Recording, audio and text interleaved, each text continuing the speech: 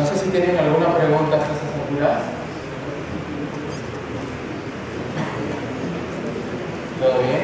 No sé si tenemos todavía algunos minutos, por favor, si me indican. Ya. Ok. Ya. Podemos hacer ahora. Eh, a ver, tenemos tiempo para uno más. Eh, ¿Cuál quisiera? ¿Hacer un rostro? A ver, ¿han escuchado lo, lo que es un rostro de tres cuartos? ¿No? Rostro, perfil, se entiende, ¿no? Perfil, sí, que completamente volteo. Tres cuartos, ¿no? Que son tres cuartos.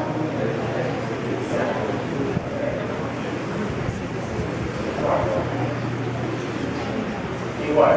Empezamos más o menos con un semicírculo y luego aquí vamos a entrar ¿ya? Y aquí vamos a vez. Y vamos a enganchar con el resto de la cabeza. ¿Ya? El tres cuartos es un rostro que está 50% de frente y 50% de perfil. Tiene su técnica, ¿no? Por eso es importante saberla y practicarla también, porque hay que ir ahí acomodando todo. Bien, tenemos ya esto. Ahora, la horizontal y la vertical van a ir de esta manera. ¿Ya? Porque se está empezando a voltear. No está completamente volteado, pero está empezando. Este, este ángulo se utiliza muchísimo en mangos. Si ustedes ven mangas, ya la mayoría de personajes se cuartos, porque es una posición más, más rica, más expuesta, ¿no? Obviamente, los elementos internos se van a destruir.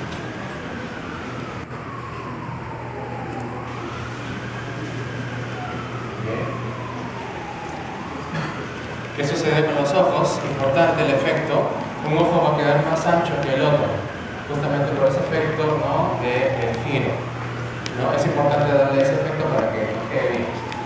Todas las marcas es bastante similar. Las cejas van a cambiar, desde luego que sí. También, una ceja va a ser más larga que la otra. Ok, para hacer la nariz, eh, yo les recomiendo un truquito. Tenemos aquí ojo y ojo. Uno y dos. Fíjense, tenemos aquí la ceja. Vamos a hacer como un movimiento imaginario, continuando, apalancándonos de la ceja. ¿no? Vamos a hacer esto y clac, sacamos la nariz. Es una manera más fácil, ¿no? Me va a ayudar más porque yo cojo el vuelo de la ceja, entro en curva y al final saco la nariz. En mucho mejor posición, ¿no? Obviamente no es que yo voy a hacer toda la línea, solamente es un recorrido imaginario. Entonces ahí sitúo la nariz. La boca un poquito hacia atrás. ¿Ok? La oreja ya sabemos que queda a la altura del ojo para arriba y la nariz para abajo. Entonces vamos a tener más o menos. ¿Ok? Para esta parte importante. Fíjense, la línea viene curva hasta la ceja. Vamos aquí. Aquí va a entrar un poco. Aquí va a salir un poco de nuevo para ¿no? La mejilla. Y más o menos entre la nariz y la boca va a volver a entrar. Y un poco detrás de la boca va a enganchar hacia la oreja.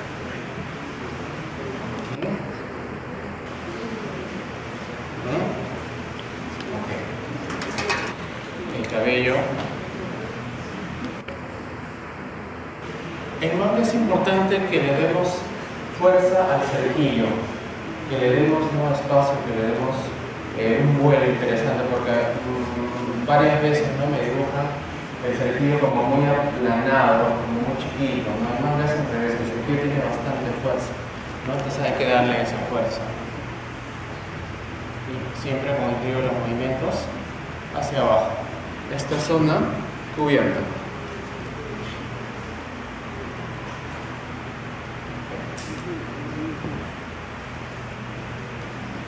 Ujú. Bien. Ya, entonces esto es lo que se llama el tres cuartos. Es esa parte del tres cuartos. No tomen también de repente el perfil. Ujú. Eh, a ver. Solamente como un esquema pequeño aquí. El perfil. Vamos a hacerlo.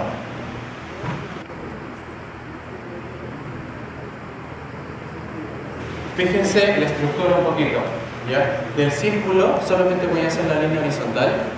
¿ya? Aquí voy a lanzar esta, esta especie de ayuda, ¿no? O sea, aquí entramos con la nariz y esto baja y va a formar todo el resto de lo que la boca, el mentón. Y luego ya enganchamos otra vez con la, eh, con la abeja. Es importante esta parte, quería de todas maneras insistir, porque muchos me cometen este error. O sea, estamos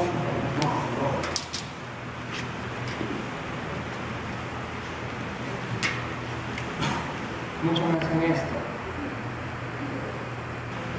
Aquí está la abeja, esto. Y el maxilar me lo lanzan para cualquier. ¿Ya? O sea, una raya y Y ya, no pues. O sea, es muy fácil verificar que el maxilar tiene que enganchar en la oreja. Ahí. Ese es el lugar. ¿Ya? Es, una cosa que es muy fácil de, de ver, ¿no? De confirmar. Pero no sé por qué mucha gente que me comete esto. ¿Ya? Ya saben ahora, pero no se van a equivocar. Y aquí irían los ojos. Importante, ya en el perfil los ojos sean, o el ojo, porque solamente vamos a tener uno, que sea un triángulo. Es un triángulo, ¿ya? O sea, no me hagan por favor ojos egipcios, ojos de pescado, o sea, no. Es un triángulo. ¿ya? Triángulo. Entonces, digamos, el distintivo más importante de un perfil. La ceja va a entrar más o menos un poquito como oponiéndose a la línea superior del. No demasiado tampoco porque si no va a parecer que está molesto. ¿ya? Un poco nada más. ¿ya? Y acá es lo que yo llamo, digamos, la forma sencilla y la forma compleja. ¿ya? Para esta parte, por ejemplo, con que nosotros hagamos esto, ya nos queda ya una boca de perfil. Porque también podemos hacer la forma compleja que es más o menos aquí, labio superior y labio inferior. Pero eso es un poquito más complicado, requiere más práctica. Yo les recomiendo para los que dibujen, empiecen por la forma fácil, o sea, de un solo tirón, la rayita. Cuando ya tienen experiencia, ya se van por esta forma. ¿Ya? Se puede hacer, requiere un poco de práctica, pero se puede hacer tranquilamente. ¿Ya? Bien, entonces ahora tenemos ya nuestra oreja.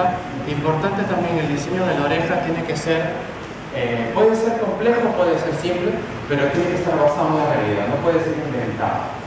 O sea, no me puedo inventar magitas acá adentro, ¿no? O sea, tiene que ser un diseño. Por ejemplo, eh, autores como Ushihara, por ejemplo, eh, hacen orejas bastante elaboradas, bastante realistas, ¿ya? Y hay otros, por ejemplo, como Rumiko Takahashi, la, que hizo Rank y medio, este, hacen dos orejas muy, muy simples, pero todos se basan en verdaderas orejas, ¿no? Diseño anatómico. Ok. Acá finalmente hacemos la demarcación, por ejemplo, si yo quiero hacer un cabello largo, pues hago una zona de cabello largo. Siempre creando la zona antes, siempre creando el control desde el comienzo.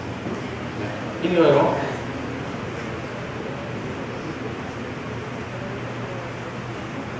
hacemos ¿Ok? ¿Ya? Entonces, frente tres cuartos perfil. Eh, les recomiendo una práctica. Hay unos ejercicios que normalmente utilizamos para, para soltar el trazo porque es muy importante también cuando dibujemos no empezar en frío. Si yo empiezo en frío, mi línea va a ser muy, va a ser muy, muy tosca, no va a tener calidad. ¿ya? Generalmente ocurre que luego de empezar a dibujar, una media hora después, etcétera, la mano se empieza a soltar, la línea empieza a mejorar, etcétera. El dibujo empieza a mejorar. Pero la idea es que empecemos ya dibujando bien, digamos ya con las sueltas desde el comienzo. Entonces, en los ejercicios se los voy a dar muy, rápidamente, ya para que adquiramos esta, esta cuestión. Ya, hacemos un círculo y después lo empezamos a desplazar. Ya, lo desplazamos, lo tenemos un rato ahí y después cambiamos. Cambio de dirección ahí subimos aquí y ahí cambiamos de lado y así ¿ya por qué? porque el mando nos exige movernos hacia todas las direcciones derecha, izquierda, arriba, abajo entonces en cualquier momento tenemos que movernos hacia alguna dirección que lo exija el dibujo sobre todo el cabello que no es bastante elaborado fuera de eso hay algunos otros ejercicios ¿no? yo les voy a dar digamos el más, este, digamos, el más potente ¿no? que es este es como un 8.